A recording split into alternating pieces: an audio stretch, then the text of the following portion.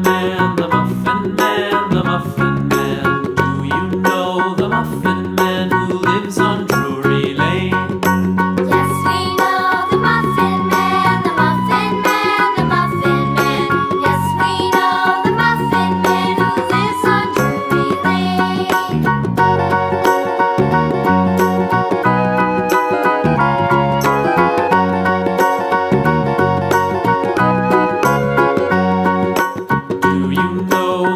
open